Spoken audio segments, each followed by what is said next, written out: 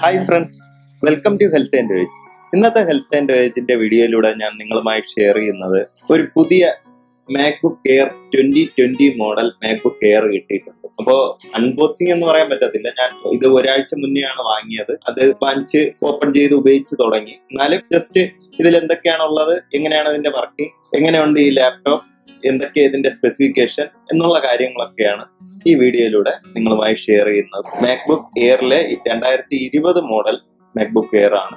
ജൂണിലാണ് release ചെയ്തത്. ഇതാ ഇപ്പോ രണ്ടു നാഴ്ചയായിട്ടുള്ളൂ ഇറങ്ങിയിട്ട് ആ ലാപ്ടോപ്പാണ് ഇപ്പൊ എന്റെ കയ്യിലിരിക്കുന്നത്. അപ്പൊ അതിന്റെ കാര്യങ്ങളിലേക്ക് പോവാം. അപ്പോൾ ഇന്നത്തെ വീഡിയോയിൽ ഞാൻ ഈ മാക്ബുക്ക് എയറിലെ ഡീറ്റെയിൽസ് ഫുൾ ആയിട്ടാണ് പറയാൻ ശ്രമിക്കുന്നത്. ഞാനൊരു ടെക്കിന്റെ ആളൊന്നുമല്ല. എനിക്ക് അത്രയും ഡീറ്റെയിൽ ആയിട്ട് പറയാനും അറിയത്തില്ല. എന്നാലും ഞാൻ ഒരു അഞ്ചാറ് വർഷമായിട്ട് ആപ്പിളിന്റെ ലാപ്ടോപ്പ് ഉപയോഗിക്കുന്ന ഒരാളാണ് ആ ഒരു നിലയ്ക്ക് എനിക്കറിയാവുന്ന കാര്യങ്ങൾ ഞാൻ പറയുന്നതേ ഉള്ളൂ. അതുപോലെ തന്നെ മറ്റൊരു വീഡിയോ ഞാൻ വേറൊരു ഇതിന്റെ ഒരു സെക്കൻഡ് പാർട്ട് എന്ന പോലെ ചെയ്യുന്നുണ്ട്. അതിൽ മാക്ബുക്ക് എയറും മാക്ബുക്ക് പ്രോയും തമ്മിലുള്ള ഡിഫറൻസും ഏതാണ് നിങ്ങൾക്ക് ബെസ്റ്റ് തിരഞ്ഞെടുക്കാനായിട്ടുള്ളത് എന്നുള്ള കാര്യങ്ങൾ ഞാൻ ആ ആ ഒരു വീഡിയോയിൽ പറയുന്നതാണ്. അപ്പൊ അതും എല്ലാവരും കണ്ടു നോക്കും. ഇപ്പോൾ നമുക്ക് ഇതിലെ കാര്യത്തിലേക്ക് പോവാം. അപ്പൊ ഇത് വന്നിട്ട് ആപ്പിൾ ലാപ്ടോപ്പ് രണ്ടായിരത്തി ഇരുപത് മോഡലിലെ ഏറ്റവും വില കുറഞ്ഞ ലാപ്ടോപ്പാണിത് എന്ന് പറയാൻ കാരണം മാക്ബുക്ക് എയറിന്റെ സ്റ്റാർട്ടിംഗ് പ്രൈസ് എന്ന് പറയുന്ന തൊണ്ണൂറ്റി മൂവായിരം രൂപയാണ്. അപ്പോൾ ആ സ്റ്റാർട്ടിംഗ് പ്രൈസിലുള്ള തൊണ്ണൂറ്റി മൂവായിരം രൂപയുടെ ആണ് ഈ കയ്യിലിരിക്കുന്നത്. അപ്പൊ ഇത് നമുക്ക് ഓപ്പൺ ചെയ്യാം.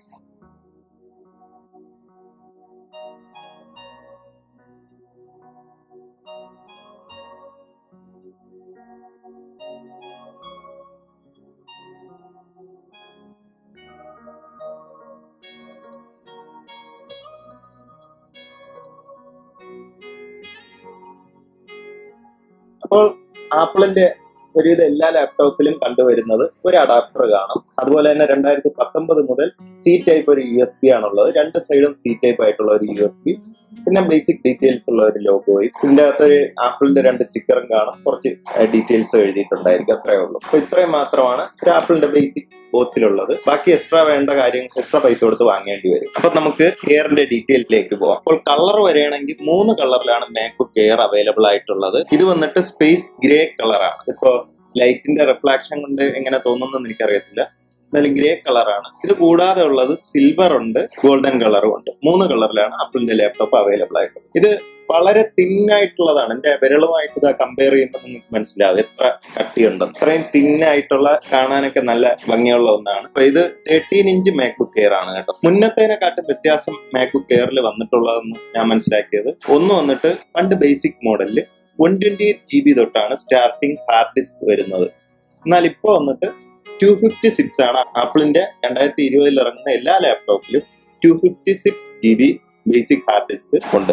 അത് one twenty eight G B ഞാൻ പണ്ട് മാക്ബുക്ക് എയർ രണ്ടായിരത്തി പതിനഞ്ച് മോഡലൊക്കെ യൂസ് ചെയ്തിരുന്നതാണ്. അപ്പൊ അതിൽ വരുമ്പോൾ one twenty eight G B ആണുള്ളത്. ഒരുവിധം ഇതിന്റെ വോയിസും ഒരു പത്ത് ആപ്ലിക്കേഷനും ഒക്കെ ഇടുമ്പോഴേക്കും പകുതി സ്പേസ് അങ്ങ് പോകും. പിന്നെ ഫുൾ ടൈം മെമ്മറി ഫുള്ളാണ് വീഡിയോ എഡിറ്റിങ്ങിനൊക്കെ രണ്ട് മൂന്നിടത്ത് ഷൂട്ട് ചെയ്തതിന് ശേഷം എല്ലാം കൂടെ മിക്സ് ചെയ്തെടുക്കാൻ നോക്കിയാൽ മെമ്മറി ഫുൾ ആവുന്ന അവസ്ഥയായി പക്ഷെ ടു ഫിഫ്റ്റി സിക്സ് ആയപ്പോൾ അതൊരു യൂസ് ആയിട്ട് തോന്നി. പിന്നെ ഫിസിക്കലി പറയുമ്പോൾ ഉള്ള കാര്യം എന്ന് പറഞ്ഞാൽ പണ്ടത്തേതിൽ നിന്നും വ്യത്യസ്തത തോന്നിയ ഒരു കാര്യം. ഇതിൽ സി കേബിൾ മാത്രമേ ഉള്ളൂ. രണ്ട് സി പോർട്ട് മാത്രമേ ഉള്ളൂ. അപ്പൊ ഈ സി പോർട്ട് മാത്രം ഉള്ളത് കൊണ്ട് തന്നെ നമുക്ക് ഇതുപോലെ ഒരു അസസറി ഇവിടെ എക്സ്ട്രാ വാങ്ങേണ്ടി വരും. എന്നാൽ മാത്രമേ നമ്മുടെ പെൻഡ്രൈവ് കുത്താനോ ഒക്കെ സാധിക്കത്തുള്ളൂ. ഇപ്പോൾ പ്രൊജക്ടറിലോട്ട് കണക്ട് ചെയ്യണമെങ്കിലൊക്കെ ഇതുപോലെ ഒരു അസസറി എക്സ്ട്രാ വാങ്ങേണ്ടി വരും. ഇതിന് ഏകദേശം രണ്ടായിരത്തി ഇരുന്നൂറ് രൂപയ്ക്കൊക്കെ ആമസോണിലൊക്കെ അവൈലബിൾ ആണ്. ഇത് പല ടൈപ്പിലുണ്ട്. സിംഗിൾ പെൺഡ്രൈവ് കിട്ടുന്നതൊക്കെ ഉണ്ട്. എഴുന്നൂറ് രൂപയ്ക്ക് ആമസോൺ ബേസിന്റെ ഒക്കെ കിട്ടും. അപ്പൊ അത് ഇതിൽ വെച്ചാൽ മാത്രമേ ഇതുപോലെ പെൺഡ്രൈവും കാര്യങ്ങളൊക്കെ കണക്ട് ചെയ്യാൻ പറ്റത്തുള്ളൂ. അതൊരു പോരായ്മയായിട്ടാണ് എനിക്ക് തോന്നിയത്. എന്ന് പറഞ്ഞാൽ എപ്പോഴും ഇതേപോലെ ഒന്ന് വെച്ചുകൊണ്ട് നടക്കണം. ഇപ്പൊ പൗച്ചൊക്കെ പതിമൂന്ന് ഇഞ്ചിന്റെ പൗച്ച് വാങ്ങി ഇത് വെച്ചുകൊണ്ട് പൗച്ച് ഇടാനും പറ്റത്തില്ല. എന്നാൽ നമുക്ക് കോമൺ ആവശ്യങ്ങൾക്ക് ഇത് വേണമെന്നാണ്. അങ്ങനെ ഒരു പ്രശ്നമുണ്ട്. ഒതുങ്ങിയ ഒരു ലാപ്ടോപ്പ് ആയതുകൊണ്ടായിരിക്കാം ഇതൊന്നും വയ്ക്കാൻ സ്പേസ് കിട്ടാത്ത അത്രയും ഒരു വീതി ഇല്ലാത്തതുകൊണ്ടായിരിക്കാം അറിയത്തില്ല എന്തായാലും. ഇപ്പോൾ ഒരു സൈഡിൽ രണ്ട് സി പോർട്ട് ഒരു സൈഡിൽ നമ്മുടെ headset three point five jack മാത്രമാണ് ഇതിനാകെയുള്ള ഔട്ട് അപ്പൊ നമുക്ക് ഇതൊന്ന് ഓപ്പൺ ചെയ്യാം.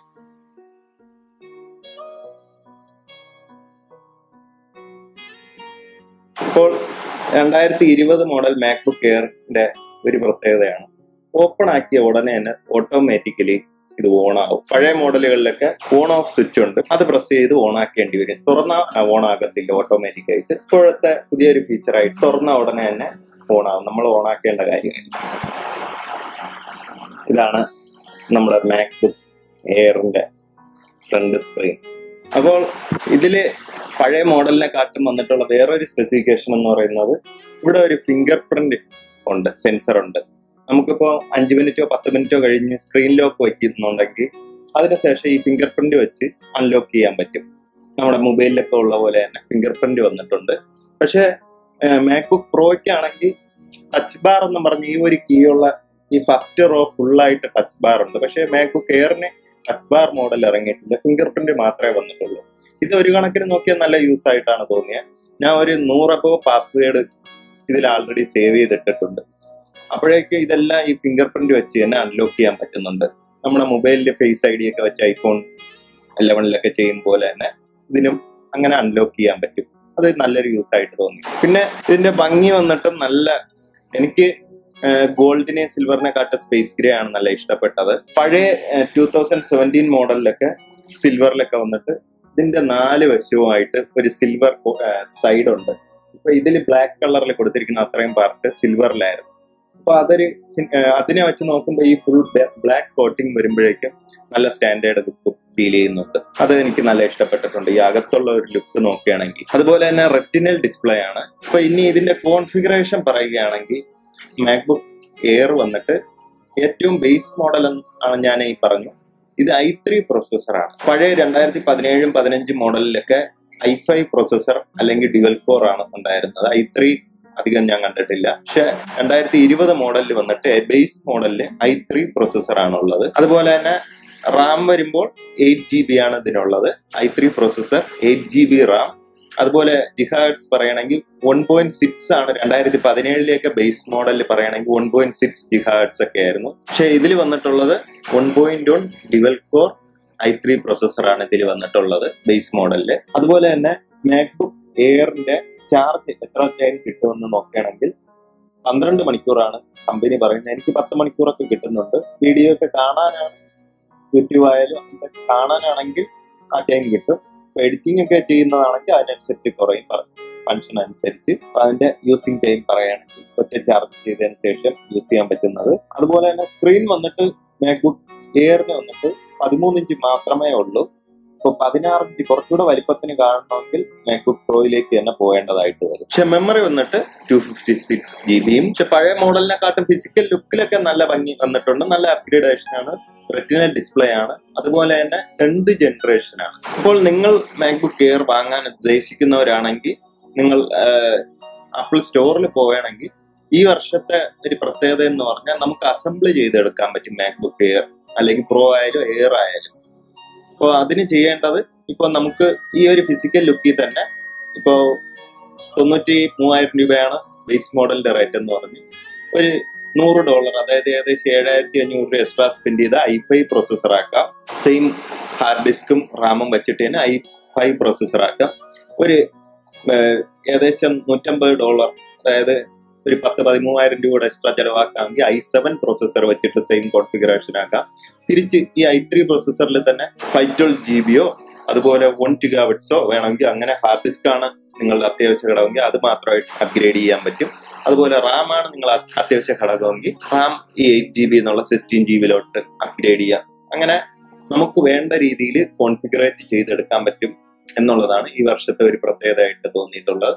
അത് ആപ്പിളിന്റെ തന്നെ സൈറ്റിൽ നിങ്ങൾക്ക് നോക്കുകയാണെങ്കിൽ മനസ്സിലാക്കാം ഞാൻ എനിക്ക് സൈറ്റിൽ കാണിച്ചു തരാം. ചിലപ്പോ ഇപ്പൊ എനിക്ക് ഇത് വാങ്ങിയിട്ട് ഒരു ഏഴായിരം രൂപയോടെ കൊടുത്ത് ഐ ഫൈവ് വാങ്ങിച്ചാൽ മതി എന്ന് തോന്നുന്നു അങ്ങനെ വന്നുകൊണ്ടാണ് ഞാൻ ഇങ്ങനെ പറയാൻ കാരണം. അതുപോലെ തന്നെ ഒത്തിരി എൻട്രി ചെയ്യുന്ന ആൾക്കാരാണെങ്കിൽ ഇതിന്റെ കീബോർഡ് വന്നിട്ട് മാജിക് കീബോർഡ് എന്ന് പറഞ്ഞ് രണ്ടായിരത്തി പതിനാറ് മോഡൽ പതിനാറിഞ്ച് മാക്ബുക്ക് പ്രോയിലൊക്കെ അവൈലബിൾ ആയിരുന്ന മാജിക് കീബോർഡ് എന്ന് പറഞ്ഞൊരു കീബോർഡ് ടൈപ്പാണ് ഇത് വന്നിട്ടുള്ളത്. കഴിഞ്ഞ വർഷങ്ങളിലേനെ വെച്ച് വ്യത്യസ്തമായിട്ടുള്ള ഒരു കീബോർഡ് അനുഭവം കിട്ടും.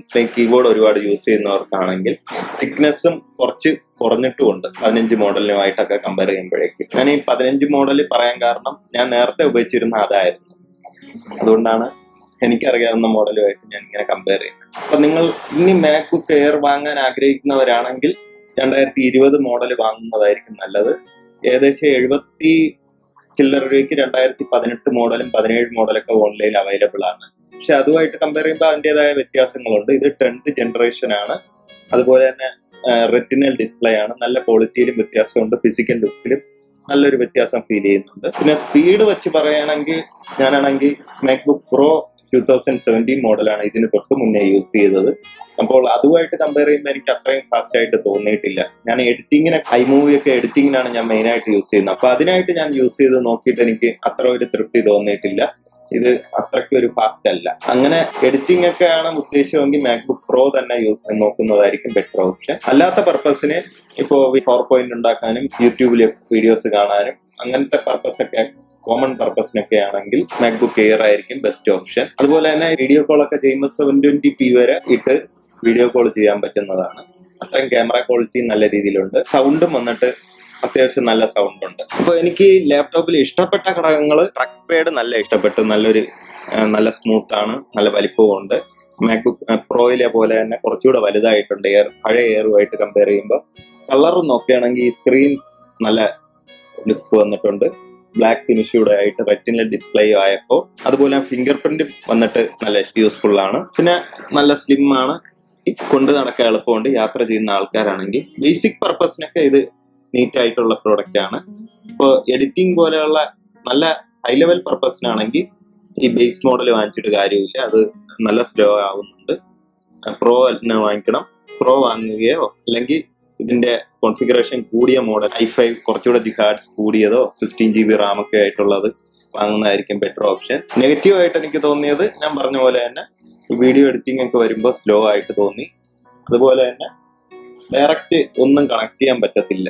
എല്ലാം ഇതുപോലെ എന്തെങ്കിലും കൊണ്ട് കിടന്നാൽ മാത്രമേ നമുക്ക് പെൻഡ്രൈവ് ഒക്കെ കുത്താൻ പറ്റത്തുള്ളൂ. അല്ലാതെ സൗണ്ട് ഒക്കെ വരികയാണെങ്കിൽ പഴയ ഇയറിനായിട്ട് കമ്പയർ ചെയ്യുമ്പോൾ നല്ല വ്യത്യാസം വന്നിട്ടുണ്ട്. അപ്പൊ ഇത്രയുമാണ് ഒരാഴ്ച കൊണ്ട് ഞാൻ യൂസ് ചെയ്തിട്ട് എനിക്ക് മനസ്സിലാക്കാൻ പറ്റിയ കാര്യങ്ങൾ. ഞാൻ അധികം ഡീറ്റെയിൽ ആയിട്ട് പോയിട്ടില്ല. അപ്പൊ നിങ്ങൾക്ക് ഇത് റിലേറ്റഡ് ആയിട്ട് എന്തെങ്കിലുമൊക്കെ കൂടുതൽ അറിയണമെങ്കിൽ കമന്റ് ചെയ്യുക. ഞാൻ എനിക്ക് അറിയാവുന്ന കാര്യങ്ങളാണെങ്കിൽ റിപ്ലൈ തരാം. അപ്പൊ ഇത്രയും കാര്യങ്ങളാണ് മാക്ബുക്ക് എയർ രണ്ടായിരത്തി ഇരുപത് മോഡലിനെ പറ്റി പറയാനുള്ളത്. അപ്പോൾ നമുക്ക് മറ്റൊരു വീഡിയോയിലൂടെ മാക്ബുക്ക് എയറും മാക്ബുക്ക് പ്രോയും തമ്മിലുള്ള കമ്പാരിസൺ വീഡിയോയിലൂടെ നമുക്ക് വീണ്ടും കാണാം. ബൈ